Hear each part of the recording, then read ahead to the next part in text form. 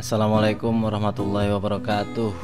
Tetap semangat untuk melakukan pendaftaran CPNS di seleksi CPNS tahun 2018 ini. Saat ini saya akan mencoba memberikan tutorial tentang tahap pertama setelah pendaftaran akun SSCN bkn.go.id. Seperti pada video sebelumnya bahwa sebelum kita memulai atau melakukan login ke SSCN, maka yang harus diperhatikan yaitu koneksi internet Anda. Saya sarankan kita menggunakan komputer atau laptop, tidak menggunakan handphone sehingga kita bisa melakukan pendaftaran secara maksimal. Oke, langsung saja. Sebelum saya lanjutkan, terima kasih yang sudah memberikan like, komentar yang baik dan juga subscribe. Yang belum subscribe silahkan di subscribe terlebih dahulu. Di video sebelumnya saya sudah menjelaskan bahwa registrasi pada SSCN di CPNS tahun 2018 ini ada di menu registrasi dan ketika kita klik menu registrasi maka di sini subdomainnya berubah menjadi sscnakun.bkd.go.id. Setelah kemarin kita sukses dengan registrasi akun SSCN dengan menggunakan trik dua browser karena ramainya pengunjung, saat ini juga sama, kita akan melakukannya seperti langkah pertama karena ribuan bahkan puluhan ribu pengunjung server sehingga server dirasa berat, jaringan yang masuk itu transaksi datanya menjadi sibuk. Jadi kita pakai cara ini, ternyata berhasil. Dua hari yang lalu saya coba registrasi dan hasilnya berhasil. Setelah itu hari ini saya coba login dan kali ini saya akan membahas tentang pendaftaran di tahap pertama. Tahap pertama ini adalah kita melakukan swafoto atau bahasa gaulnya selfie. Berarti yang harus kita siapkan adalah pertama kita harus mencetak kartu informasi akun SSCN 2018. Setelah dicetak lalu difoto dengan pendaftar tersebut atau dengan kita dengan KTP. Jadi KTP di sebelah kiri dan kartu informasi akun SSCN di sebelah kanan. Registrasi kita lihat di sini sscnakun.bkn.go.id. Sementara login kita menggunakan subdomain sscndaftar.bkn.go.id. Artinya ini pasti tentunya berbeda subdomainnya. Saya yakin servernya pun berbeda. Jadi dibagi. Pada hari Minggu pukul 00 sampai pukul 5 setelah dilakukan upgrading untuk kelancaran komunikasi data antara pendaftar dengan uh, sistem sehingga kali ini bisa lebih cepat.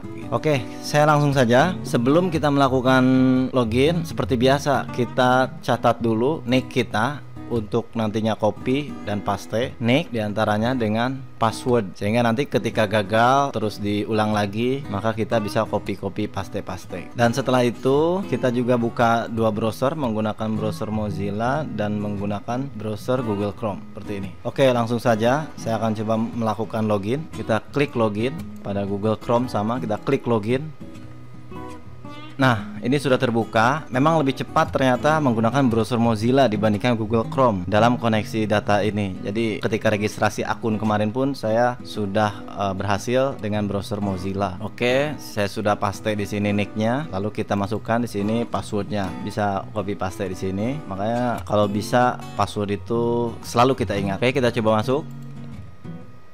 Silahkan tunggu memuat data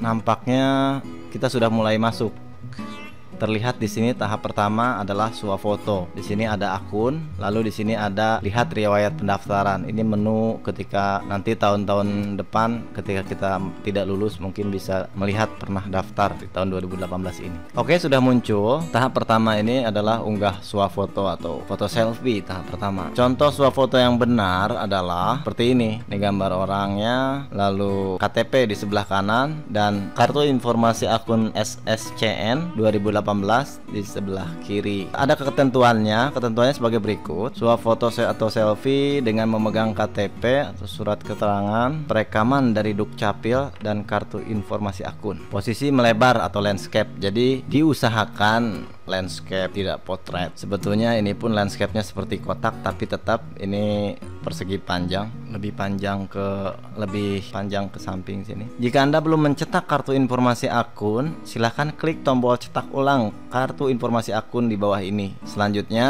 berkas yang diterima adalah foto dalam bentuk extension filenya itu JPEG ya, tidak yang lain. Diusahakan ikutin aja berat aturannya. Dengan ukuran maksimal 200 KB atau 200 kilobyte. Ini sebetulnya kecil ya. Bisa jadi nanti tidak terlalu jelas tapi diusahakan minimal 200 eh maksimal sorry maksimal 200 KB ini jelas di sini ada namanya di sini juga jelas kalaupun tidak jelas ya saya kurang tahu nanti pemberkasannya seperti apa lalu di sini cetak ulang kartu informasi akun Ketika kemarin registrasi berhasil dan belum melakukan pencetakan, silahkan klik menu ini. Jadi cetak dulu, simpan. Biasanya nama filenya itu report tanpa extension. Anda bisa kasih extension.pdf pun selesai. Gitu kan. Nah, berarti pada tahap pertama ini kita sudah melakukan foto selfie dengan posisi seperti ini. Dan itu disimpan. Jadi usahakan di laptop atau PC Anda simpan satu folder namanya CPNS 2018 boleh di situ ada kartu SSCN sama foto. Foto-foto dan berkas-berkas persiapan untuk nanti diupload gitu.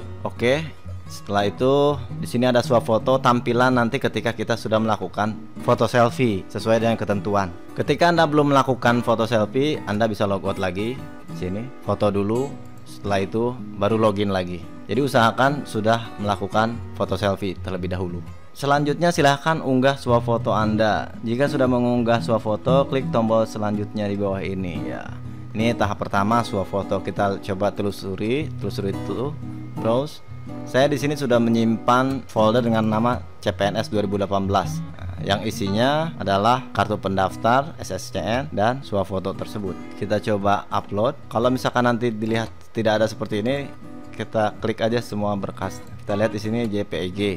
Nah, untuk melihat ukuran dari foto, silakan didekatkan saja ke file tersebut. Nanti di sini terlihat item tipe JPEG image, dimension berapa, lalu di sini ada size. Di sini saya file fotonya 96,5 kilobyte berarti masih memungkinkan karena kan maksimal 200 kilobyte. Lalu kita klik ya, kita coba klik lalu open. Di sini sedang menyimpan. Nanti di sini akan tampil. Kita lihat Unggah berkas gagal dicoba kembali. Oke, di sini muncul menyimpan, artinya sedang melakukan uploading foto ke sana ke server. Ini bisa berhasil, bisa tidak. Nah, ketika unggah berkas gagal, silahkan dicoba kembali. Ini artinya bukan berarti foto kita salah, tapi ada terputusnya komunikasi. Itu saja. Kita coba lagi ya, sekali lagi.